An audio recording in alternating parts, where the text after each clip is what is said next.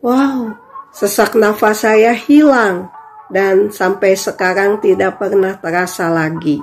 Shalom, Bapak, Ibu, Saudara yang terkasih di dalam Kristus. Pada tanggal 18 Desember 2022 saya mengikuti ibadah pesta lawatan dan kesembuhan. Saat itu saya sedang sesak nafas dan Pastor Emeka mengatakan taruh tangan kita di tempat yang sakit.